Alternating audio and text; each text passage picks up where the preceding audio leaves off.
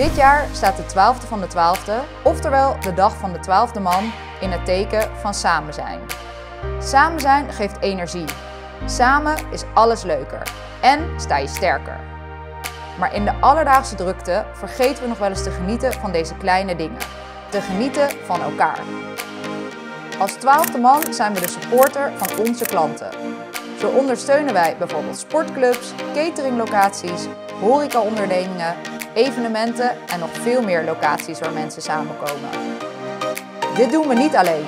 Dit doen we met ons toegewijde team door te luisteren naar onze klanten en met de partners met wie we samenwerken. Samen zetten wij een stap extra en doen we er alles aan om onze klanten zo goed mogelijk van dienst te zijn. Zo kunnen zij zich focussen op wat echt belangrijk is. Samen zijn.